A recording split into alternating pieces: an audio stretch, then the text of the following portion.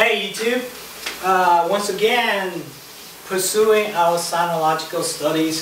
This time, uh, we're going to talk about Chinese languages. Alright, uh, last time, in previous few uh, talks, uh, we talked about Chinese history, all that. Language is intertwined with Chinese history, which is even longer. Alright, uh, Chinese languages, remember it's a plural. Alright, because people say, do you speak Chinese? Really, that doesn't really mean anything. It's like, do you speak Europeans? Uh, China is even bigger than Europe, so as you know. Uh, Chinese language stems from the Sino-Tibetan Chinese, uh, Sino-Tibetan language family. So, Sino-Tibetan language family that goes span all the way from here. We're not even talking about uh, the Tibetan they split into the Tibetan clans and the Chinese clan. And I'm going to leave the Tibetan clan alone for some other uh, experts on that. Um, basically, they split into the Tibetan language families, which is in Tibet. And then we have the Chinese languages. And basically people say, do you speak Chinese? That doesn't really mean anything. What they mean is that do, they, do you speak Mandarin? Alright, the Mandarin within Maine is uh, the only language that's spoken in the northern plains. That is due to the history of the uh, Qing dynasty.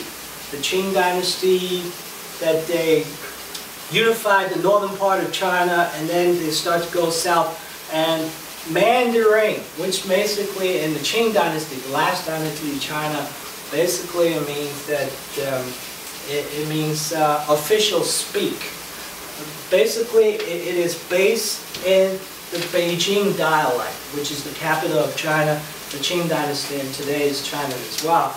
Uh, Mandarin is basically the Beijing dialect. But Mandarin and Beijing dialect is not necessarily the exact same thing. It's just like two twins does not look exactly the same as well. But Mandarin what we mean is based on the Beijing dialect, but um, of course it's mutually intelligible. And mainland China today, the communist China, they, they call it another name, they call it uh, Putonghua, which means uh, normal speak. Uh, that means that this is the language that's like a lingua franca for all the China to use. Just like in Europe, if you say do you speak European I guess the lingua franca today is English, and back then maybe it's French or something. So basically, today, when you say, do you speak Chinese, basically they mean, do you speak Mandarin? And Mandarin came from Beijing dialect. So the whole northern plain, they all speak pretty much the same thing, even though with uh, different dialects and stuff. And also due to history, it's because northern China is all like plain.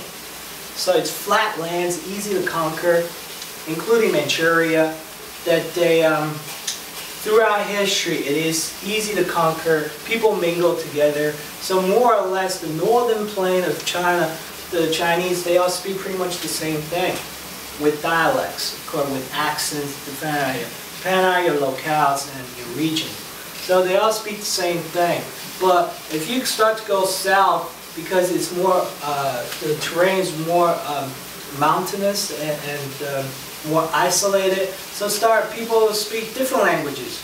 Uh, like I'm from Shanghai, so I speak Shanghainese, and, and um, in this region they call it the Wu uh, languages.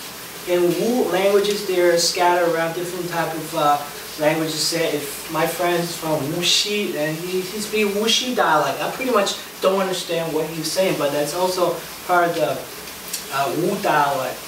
Uh, uh, say if you go a little bit over, there's Suzhou, Hangzhou, it's all part of uh, uh, the Wu languages, and it is mutually intelligible because it's uh, close to each other, and you would say that's topolect.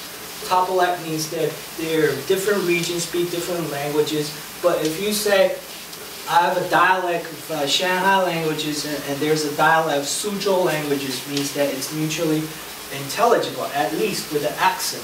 It's just like Irish or Scottish and English. They all speak English but with a dialect. With the, the dialect, they understand. But if, say, you go down to Fuzhou, or you go down to Canton, speak Cantonese, uh, Fuzhou dialect, that is totally like a foreign language. Right, that is a major thing we understand Chinese language. Chinese language is not one single language. It's hundreds of different languages within Chinese language family. That is very important to, to understand.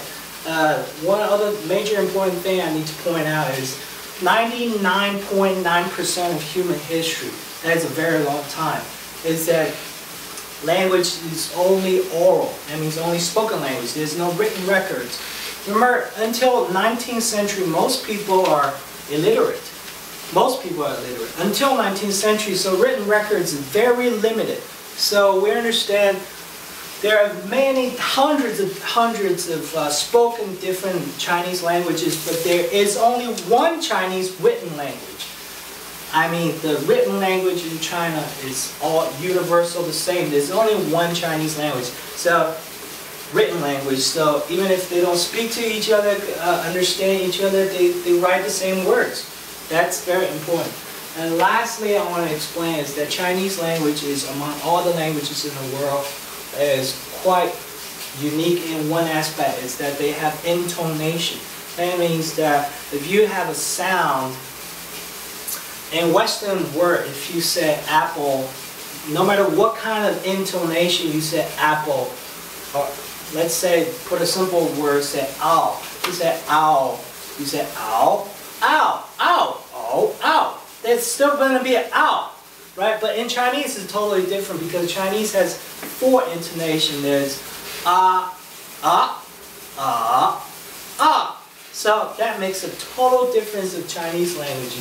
No matter where you go, no matter what kind of Chinese language you speak, the intonation makes a whole lot of difference because there's a limited of sounds in there, but if you make the intonations, that makes a total differences. So if you say, 我 that means I. You say, "wo," that means house or other stuff. But it's the same thing. But um, that, that makes uh, Chinese language very unique. So just keep in mind, there's a lot of different Chinese languages out there. Hundreds of different Chinese languages. And it's basically pretty much mutually unintelligible.